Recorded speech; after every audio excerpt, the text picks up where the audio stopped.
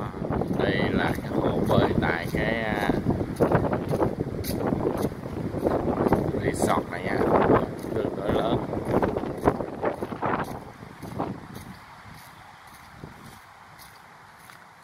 Phía sau là núi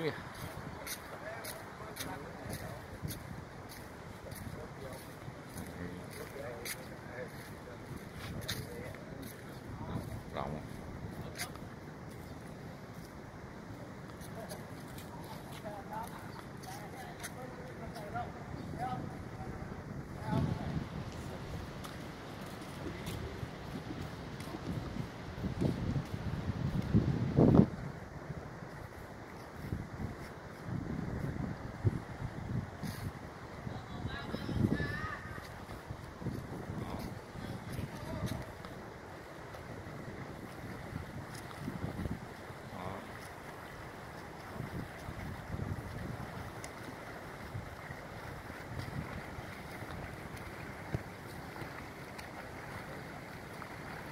yên bình không? Không.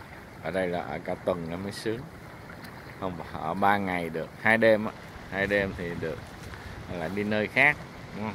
là thích nhất. Hồ này là rộng à. Hơn 50 mét luôn á.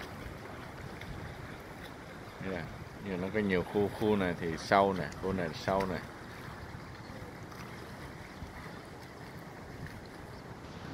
Quay cho hết luôn quay để chia sẻ để biết khi nào mới quay lại đây nữa ở đây chỉ thích hợp với gia đình đông người thôi tổ chức được nhóm đông người thì hãy vô đây. Còn đi hai người thì hay là đi hai ba người thì ở đây nó không có phù hợp ở đây nó không có.